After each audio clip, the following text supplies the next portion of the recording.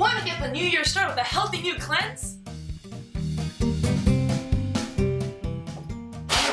Ah, tired of complicated smoothies?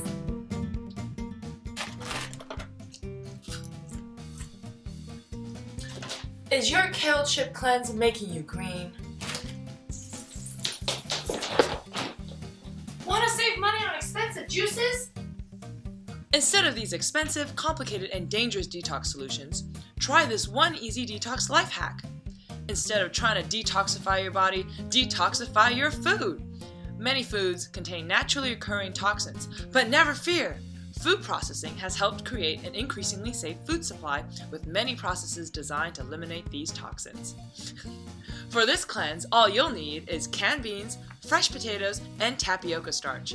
Many fresh beans contain naturally occurring toxins, but by cooking them thoroughly, as is done in canning, these toxins are destroyed so the beans become safe to eat.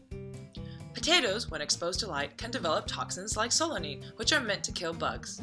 But these toxins can also be very harmful to people. Luckily, these toxins can easily be avoided by selecting fresh potatoes that do not have green spots on them, which could indicate that they may have toxins present.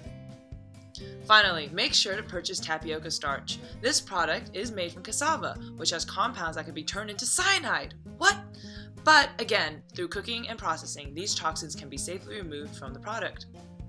So remember, nature has created way more things that can kill you than humans and scientists could ever create in the lab. So, before going on the next new fad of potentially unsafe, scientifically untested cleanse or detox program, please remember to consider all the evidence before you. And finally, remember, don't eat the pseudoscience. For more information, click the link in the description.